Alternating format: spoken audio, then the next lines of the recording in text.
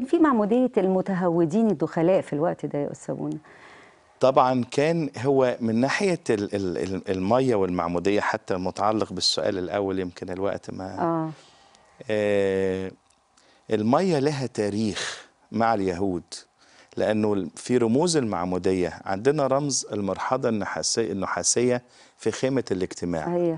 وج- واستعاض عنها بالبحر النحاسي في هيكل سليمان. وكان مكانهم عجيب حتى عقائديا حتى نفهمها كده. كان كانت المرحاضة وكان الحوض بعد ما بنعبر منطقة في الدار الخارجية المسبح مسبح مذبح المحرقة. المحرقة. المحرقة. البخور كان في القدس أيوة صح. جوه. مم. لكن اللي بره في الدار الخارجية مسبح المحرقة. فعايز الكتاب عايز يعلمنا إيه؟ إن اللي يدخل الخيمة أو الهيكل يتقابل اولا مع مسبح المعر- مع المحرقة. هو المسيح الذبيح. الذي قدم ذاته محرقة على عود الصليب. إذا ليه إيمان بالمسبح ده وبالذبيحة دي يقدر يدخل خطوة لقدام شوية على الشمال كده هيلاقي المرحاضة النحاسية أو بحر النحاس. يغتسل بالمية ده كان خاص بالكهنة مية واللويين للتطهير يعني. آه وبعدين يدخل آه يقدر يكون لي حق الدخول إلى الأقداس القدس وبعدين لرئيس الكهنة قدس الأقداس فيما بعد. تمام. فالعملية ادي الإيمان شرط أساسي.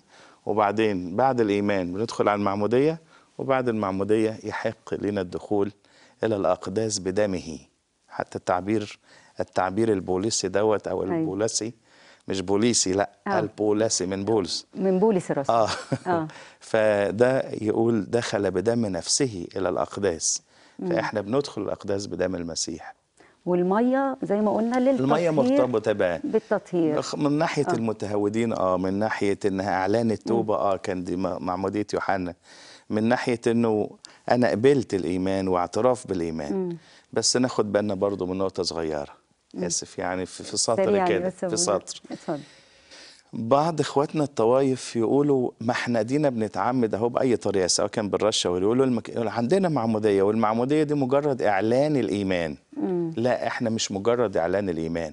إعلان التوبة والإيمان ده كان في أيام يوحنا. لكن في معمودية المسيح إعلان قبول المسيح فعلا. لكن الخطوة الثانية اللي بعد الإيمان لأن اللي بيعتمدوا لازم يكونوا كمان سبق لهم الإيمان. وبعدين بفعالية كسر بقى و...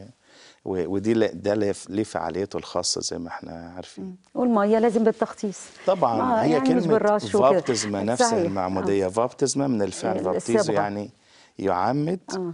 أو يغطس أو يصبغ أو آه، يغمس لأن استخدم الفعل كده تمام. بنفس التعبير فدي صبغه لازم نغطس تماما صحيح. ولما صعد يسوع